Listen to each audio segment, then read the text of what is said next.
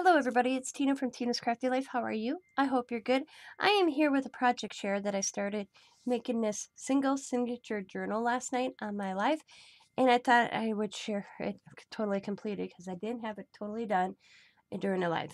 So on the side I put some um, twine and some beads, a little puffball and this little happy face so that's what it looks like when it dangles. It just kind of looks like that. And then I didn't put an enclosure on it. So I have this yarn or whatever you want to call this stuff. And you just kind of open it. And then this is the cover. And the cover is my mixed media paper that I did with my bingo daubers, a black or stencil, and I did black, and then I outlined it with white. And then I used Art by Marlene images or die cuts from these two packs that she has throughout this book. So let's open it. So inside the cover is I did their turquoise and then I some of my mixed media paper and I did some little design on top. Down the edge here some of my paper and the design. And then each one in the corner has a lantern with some of my paper, and then I made some tags. And I left them blank on the side so they could write. And had little corner spots. Another image. A camel. Another lantern plus a doily. Different kind of tag. Corner po pocket with another one of image. This is paper from Darkwood Sanctuary, aka Haig's Hollow Amy. The blue I'm talking. Some of my mixed media down the edge. In the corner with a lantern. Made a tag. Another little, I did a zigzag there as well. Lantern, another doily. Down the edge, zigzag. Oops tag, corner spot.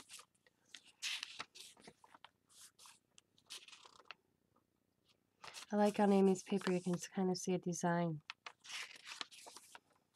The center, I did two down the edge and then the zigzag half circles, I guess you want to call them. Lantern, corner spot, tag I made.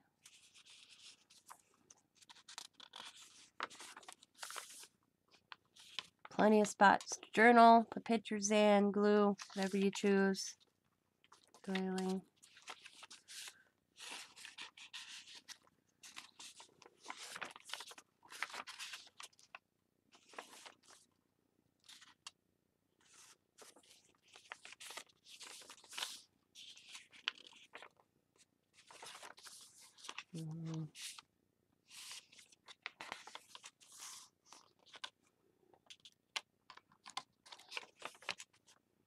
And that's back cover and no gator mouth I think I did a good job. The cover is made out of a folder. Side. You just tie it up like so. That's the journal. So that's the journal. And I also am in a pocket letter memory deck swap and I'll share that as well so this is the pocket letter, and it was whatever you choose. Three minutes, three pocket letter. And then, of course, the back. And then we had to make a memory deck that matched. And then also inside I have little Marlene images. These are images off Etsy I found.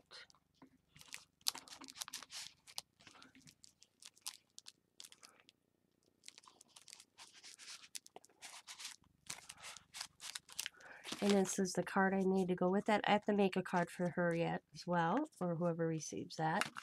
And then this month's Julie Nutting is the last one of the year was graduation. And that's this We made it. Class of 2021 Euro Julie Nutting Days. And that's that looks like. So them are my projects that I've been working on. Just thought I'd come out and share them with you. As always, be happy, be kind, be safe, be funny, be crafty, and bye for now.